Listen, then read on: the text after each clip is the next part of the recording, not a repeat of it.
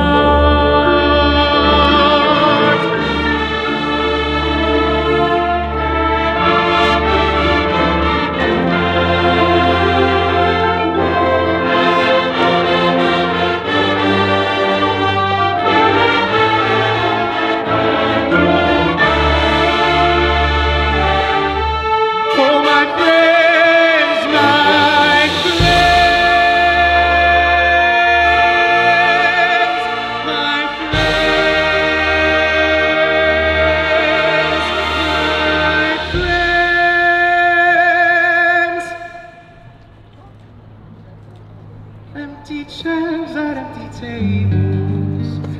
Every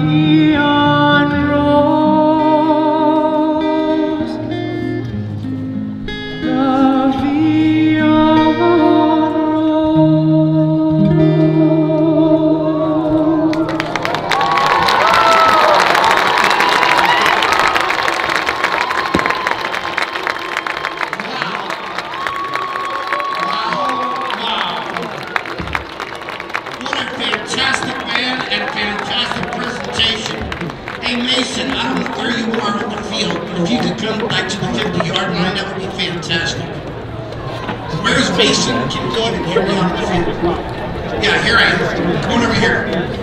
Right here. The one waving, where it's Ladies and gentlemen, we're going to have our presentation as well. Is Tom Revenberg, the man who put all this together, along with Parsons, the assistant director. They're going to get the presentation of the snare drum, along with Rob Carricker from uh, Remo, and of course our queen and some princesses. And Mason, come on over here so we're not in the picture. Mason, uh, number one. Ladies and gentlemen, this is the guy singing and playing the guitar. Give it up for Mason.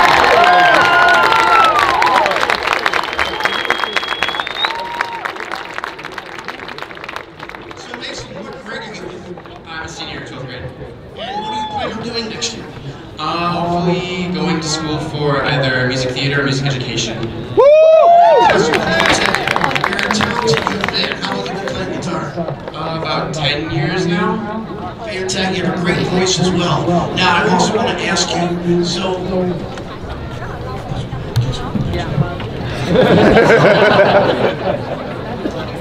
So, I want to ask you, what did you do to fundraise to get here? Oh, a bunch of stuff. We did a bunch of um, pancake breakfasts. We did a shoe drive and a bunch of other like, community service events. And yeah. Shoe drive. Did you sell shoes? um, we collected shoes from our um, community, like people in the band, and then gave them to an organization. So how did you make money? Uh, we received money in return. He's going to college. you don't know what was involved. You just collected shoes. Correct. Awesome. That was fantastic. But let me tell you, you're a talented young You're a talented young man. So hold on. We have a presentation. We, we can go, Mason. Okay? So.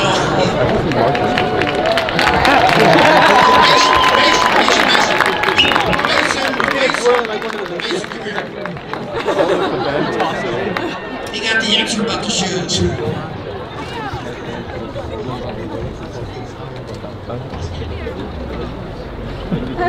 I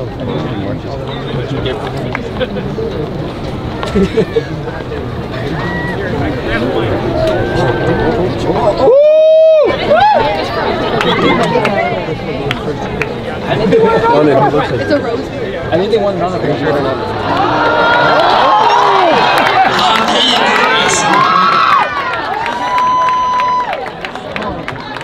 there you go, Mason.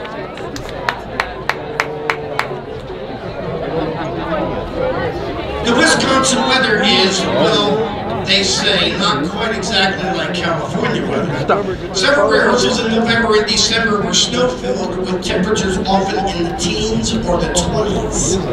It even snowed four inches on Halloween this year. Holy cow. The largest, we the largest fundraiser for Greendale band families involved working concession stands at the Milwaukee Brewers games in Miller Park. Mason was collecting shoes. That the stars aligned to be paired with the University of Wisconsin in the Rose Bowl game. The band has made other major parade appearances in 2016, the Macy's Parade, the 100th Annual Lions Club International Parade in Chicago, and the 2017, 18, and 19 national televised Magnificent Mile Holiday Lights Festival Parade on Michigan Avenue in Chicago as well. Thank you.